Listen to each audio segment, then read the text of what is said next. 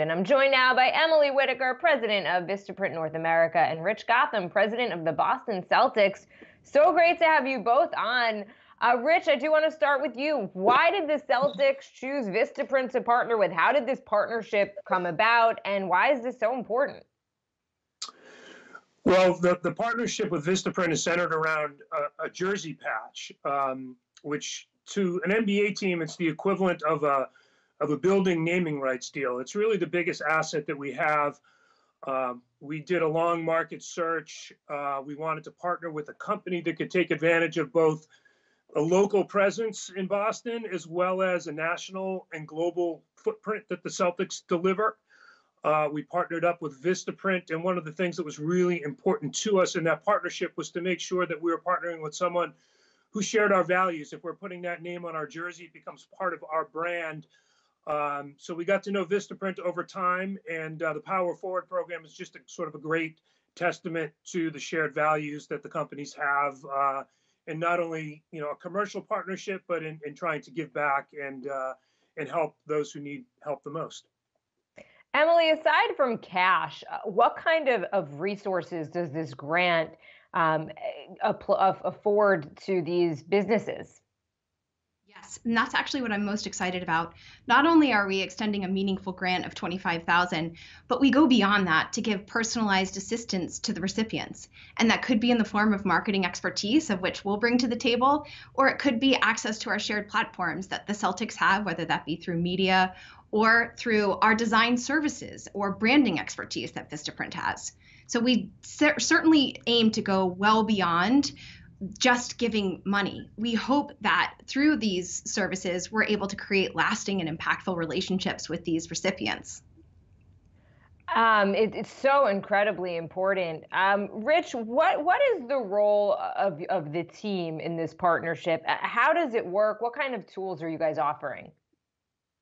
So the, the, the Celtics, obviously, what we bring to the table is um, a platform. Um, we're extremely well known everywhere uh, particularly in the African American community.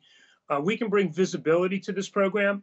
Uh, any companies that are interested in applying can go to celtics.com slash power forward uh, to apply. Uh, we've got a strong working relationship with the NAACP in Boston, who we're obviously partnering with to administer the grants. Uh, and, and through our Celtics United program, we've done a lot of outreach and a lot of research into some of the systemic issues uh, that um, that really you know are plaguing uh, small businesses, small black-owned businesses from moving forward. So we feel like uh, we can make a really big impact here. We've got a whole uh, company of people aligned against Celtics United uh, to help us to um, help those small companies that are in need. Uh, you know, our research has shown us that really only one out of four um, small owned, uh, black owned small businesses actually have a lending or borrowing relationship with a bank.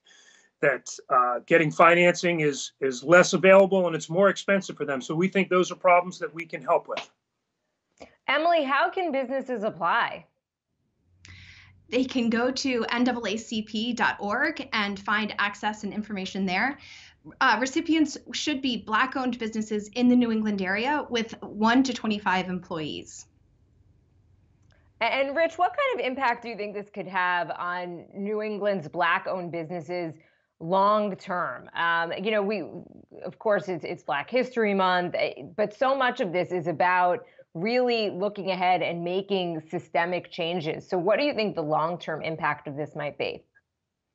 Well, I, I think I think the long-term impact, is, you know, we are looking for programs that are sustained, and I think with small businesses in particular, they need a certain they need the injection of fuel to get to to growth and scale. And I think if we can help them get to scale, we can make a long-term difference. I think that's the the most difficult part is getting to scale. And I think if we're intentional and targeted with our programming uh, as we are with the power forward program we can we can help with a very specific problem which is helping those businesses get to scale and give them a better chance for long-term success and, and really it, it is all about economic opportunity and empowerment. That's one of the pillars of our Celtics United program, uh, and and we we do think we can help uh, sustain the success of these businesses. All right. Well, such a great program. Emily Whitaker, president of Vistaprint North America, and Rich Gotham, president of the Boston Celtics. So great to have you both on talking about this. Appreciate it.